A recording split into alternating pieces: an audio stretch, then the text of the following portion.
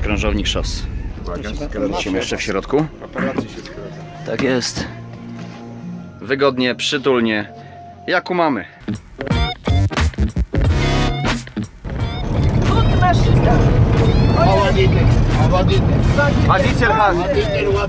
Mam się.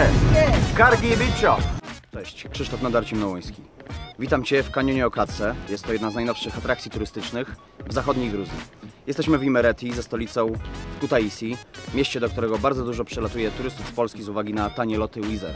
Kanion Okatce został uruchomiony w 2014 roku i jest to po prostu kładka nad przepaścią, najprościej rzecz ujmując. Jesteśmy 100 metrów nad rzeką, która tutaj w dole płynie i bardzo, bardzo głośno szumi. Przepiękne miejsce, nie, nie dociera tutaj zbyt wiele grup turystycznych, ponieważ nie wszystkie auta tutaj e, dojadą. 42 km z Kutaisi jedzie się około godziny z kawałkiem.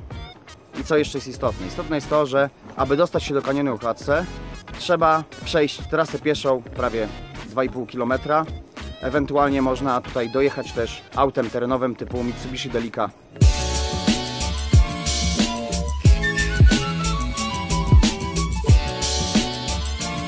Kanion Okace 18 sierpnia, godzina 11 Dojechaliśmy tutaj z Kutaisi A dalej jedziemy do Mesti Czyli legendarnej miejscowości, stolicy regionu Svaneti A teraz jesteśmy 100 metrów nad przepaścią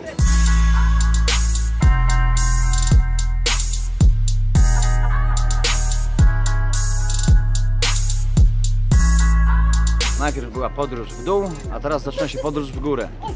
Na pewno nie jest to miejsce dla kogoś, kto ma lęk wysokości.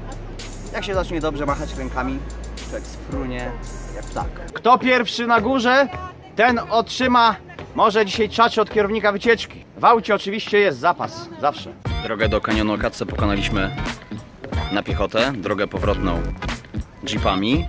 A teraz przesiadamy się już do naszego krążownika szos. Żółciutki jak marzenie Mercedes Sprinter. I pan Rafik, nasz kierowca. Polecamy. Małe gruzińskie firmy.